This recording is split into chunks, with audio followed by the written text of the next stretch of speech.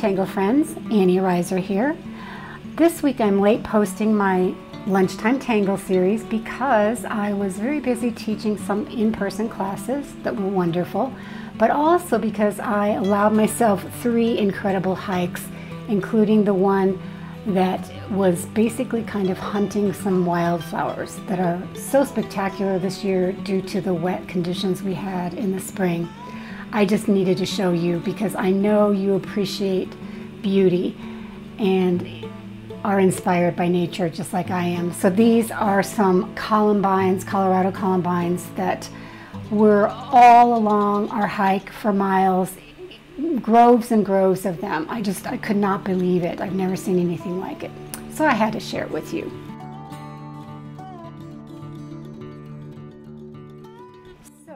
In keeping with our floral theme, we're going to do a floral organic pattern. This one is called Hollis, and I decided to do it in color on one of my um, dyed papers here that I love so much because I, I, just really like shading in color. Here is a sample that I worked up that I'm going to be kind of patterning this off of. So just want you to know you don't have to do this in color. You are welcome to just use black and white and it's going to be just as beautiful. And you can shade just the way I'm using my color shading. You can shade with your graphite and blend with your tortillon. You won't need a solvent blender like I will be using here. So for the materials that we have, I have my 140 pound hot press watercolor paper that I've already colored. And I've got a Prismacolor solvent blender because I'm going to be blending my colored pencils, which is just an array of the colors that I'm finding here in the background. I've also got a white General's charcoal and and or a white colored pencil and then I uh, have my white Gelly Roll as well to add some embellishment at the end besides my 01 Sakura black micron pen. This okay. is how Hollis goes. It's very much like the Tangle Mooka, but with less of a prominent head or, I don't know, curl. So I'm going to just start, because I want to fill out this whole area with the pattern, I'm going to start down here in the corner and I'm going to take off and do sort of a Mooka, but thinner with less of a pronounced um, head up here. Taking my time and I'm breathing. And then we're going to jump off the back of this. And I'm going to get this to look at to see what I did. I kind of like what I did. I'm going to jump off the back right here. I'm going to start here and do another Mooka. And we're just going to continue auraing this line. So it's kind of built up, almost doubled there. Well, it is doubled. And I'm going to start on another one over here. Just doing this in kind of an arbitrary way. And again.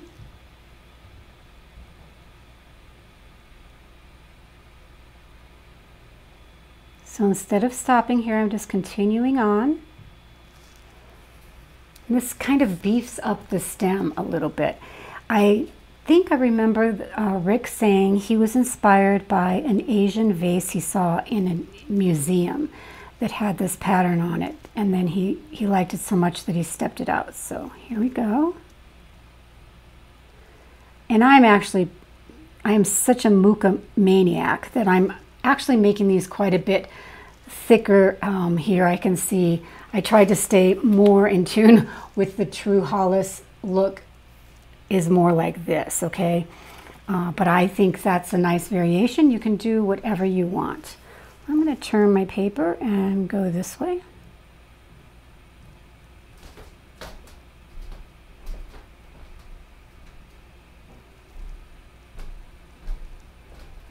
This one's going to go off.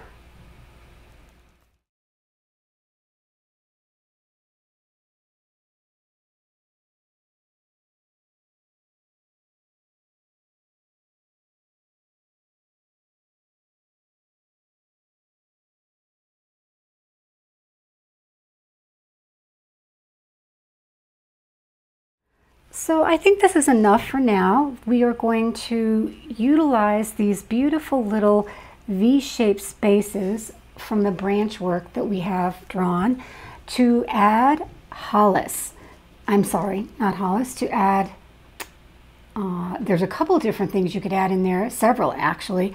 In this one I used henna drum and I think I'm going to go ahead and do that too. But Zentangle also has a pattern called moon pie that works really well in there too. So let's just start drawing some henna drums. I'm going to go down here and make one, two, three lines. And this one closest to the center, I'm going to give it a stripe. And then I'm going to complete my henna flower by starting in the middle and making those little jaggedy petals that sort of are array around almost a crescent shape. You can also do some eyelash strokes in here to give it a little character, maybe a little dot here and there. And I'm going to continue on doing that. Weighting my lines here a little bit at the bottom just to delineate the petals a bit. And I'm doing the eyelash stroke. I'm also going to weight this area here. I just think that adds something. And then continue on filling each of these areas the same way. Oh, one other thing that I did do, I did do an aura line around these outer petals of the henna drum because we're going to go back in there with our little white Gelly Roll and make dots, which is so decorative. Okay, here's this. I'm going to do my striping, or Beetlejuice, I think we call that.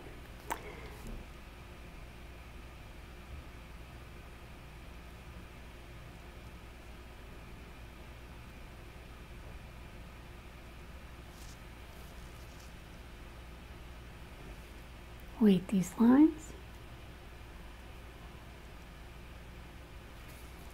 Some eyelash strokes. A little bit of hatching just gives it some shading. Doesn't look quite so flat.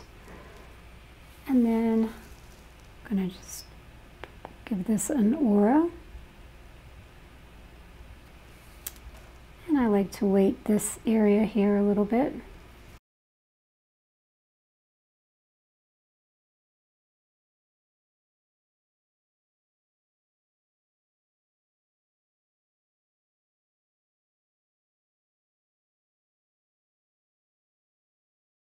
So I'm going to continue filling out all of these spaces here that form a V and I will continue making each of the henna drums the same way and I will be back and we will talk about how we would shade. So I'm looking at this and comparing it to this and I'm really liking what's going on here and here. So I need to have a few more uh, tendrils, hollis tendrils coming out to create some of that more interesting um, layering up of these hennas.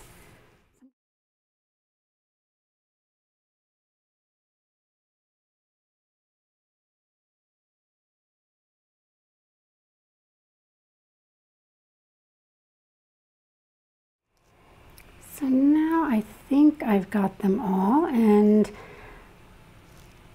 one thing I did on this one, I've also added some fescues in between.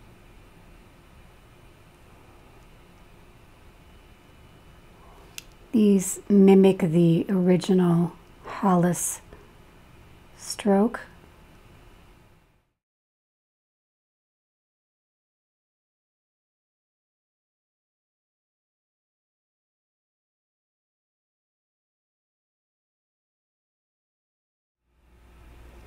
So you see I've added some more here just to make that overlapping uh, henna interesting.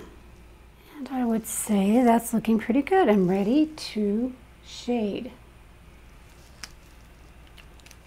So if you were doing this with graphite, you're just going to take your graphite pencil and shade the same place as I do with my colored pencils.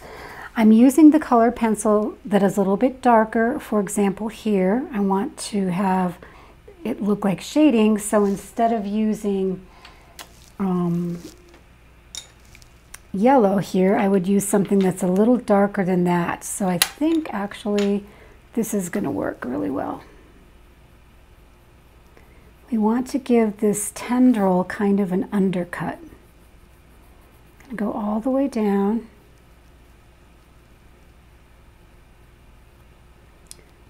And do some here on the henna. So if you've been watching my videos, you know I love henna drum and that I have already shown you how to shade colored henna drums.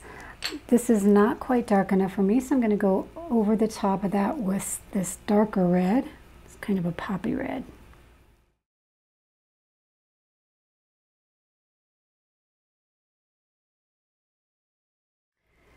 Basically, we want to get we want to find the underside more so than this top side here, for example. So I would go here, this is the underside of the tendril, and that's where I would shade the most uh, to give it the look that it's sitting up on top of the rest of the background pattern. And here I'm just giving the petals a little bit of character with some shading, some really dark darks in the corners.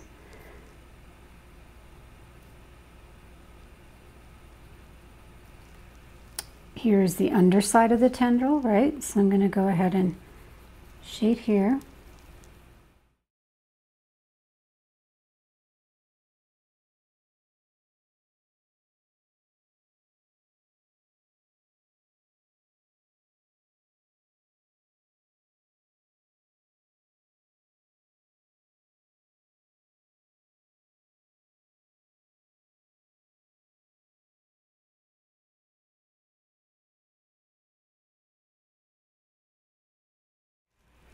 So that's just like the start. And now I'm going to go back in and blend with my Prisma solvent blender. And if you have just a tortillon, this is where you would blend away from the graphite that you've laid down.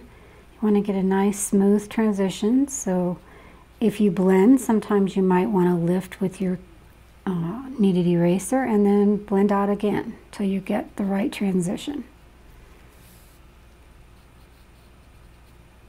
The solvent, I have to be very careful not to hit too much on the black ink because even though it's supposed to be permanent, sometimes it picks up. I'm also always cleaning my solvent blender in between.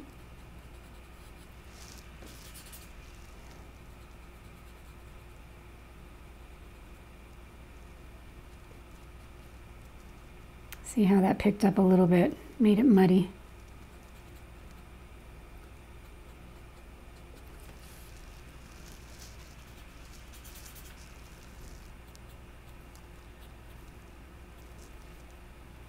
But I think you can see pretty quickly how much more three-dimensional this looks, right?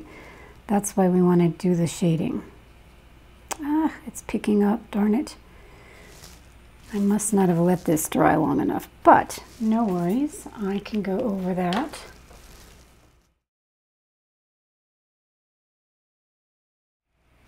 So as you can see, I like to layer up my colors. I'm even going over the red with an even darker red here. And I add yellow here and there just to bring out those yellows that were in the paper. It's more of a cadmium yellow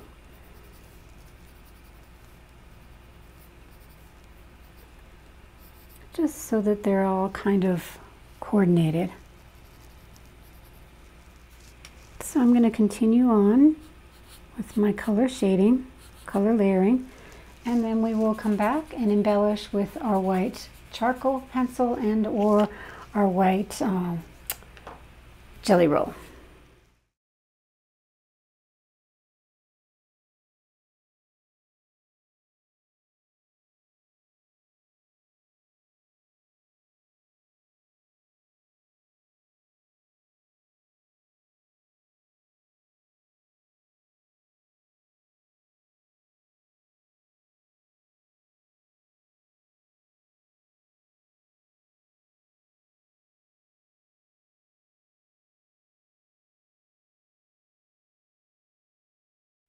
So I do want to warn you, if you're using the solvent blender, this does pick up the black ink when there's pooling like in the fescue here. It's really dark, right?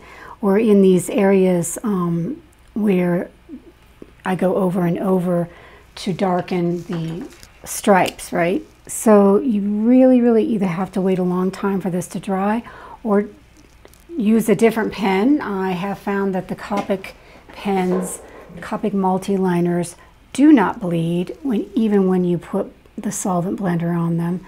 So either you have to learn to be really, really careful or use different materials and or you can also blend with lighter colors or a colorless blender pencil. So right now I'm going to stop here. I know there's always some finessing that we can do, but I did want to show you that I'm just going to go over now and make some little white dots on top of these henna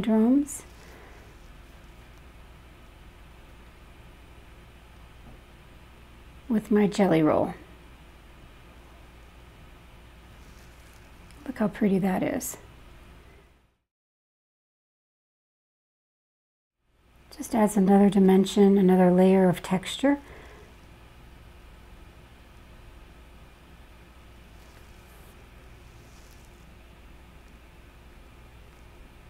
It's really fun to do. as long as your Gelly Roll cooperates. Mine is being very be well behaved today.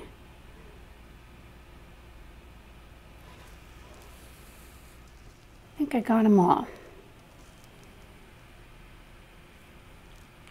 And then, oh, here, I had to go back and correct that one. You can also then take your white General's charcoal and you can add some light highlights up here on the tips of the petals maybe on the band here.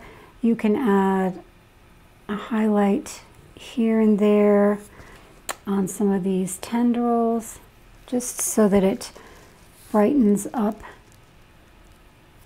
Adds a little sparkle.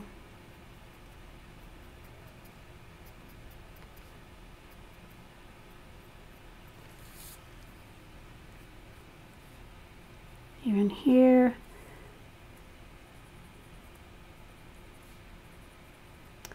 just go around and give it some love. You can blend out your generals if you'd like with a clean tortillon without any graphite on it. You can even smudge it a little with your finger. You could probably try using your white colored pencil, which might make it an even a smoother transition. But I like the Gelly Roll because, or the um, General's charcoal because if you don't like what you did, you can easily erase it. So I might go back and finesse this a little bit and like where some things might seem covered up, I can get my black pen out again and go over a line here or there that I need to restate and blend and accent and I would say let's call this one done for the day. This is Hollis with Henna Drum and I hope you have as much fun drawing and shading it as I do. Don't forget to add your chop and sign the back and date it. Thanks for joining me today. I look forward to another lunchtime tangle with you next time. Bye-bye. That's it for today's tangle. Thanks for joining me. If you like these lunchtime tutorials, please give them a thumbs up and subscribe to my YouTube channel. I also invite you to check out my website for classes that I have scheduled or to purchase my Tangle tags for your favorite step outs. That's Botangle.net. I'm leaving you with some other links too. Zentangle.com, where you can learn more about the Zentangle method from its founders, Rick Roberts and Maria Thomas, you can also visit their store there for a multitude of Zentangle paper tiles, tools, books, and kits. TanglePatterns.com is that site I talk about where you can explore hundreds of tangle patterns, read about them, and get the step out, which is basically the deconstruction of the pattern. And finally, if you'd like to share your beautiful results with me and my student community, please join Annie's Botangle Alumni Facebook page. We're a private group where we inspire each other with our work and offer tips and useful information about art and Zentangle.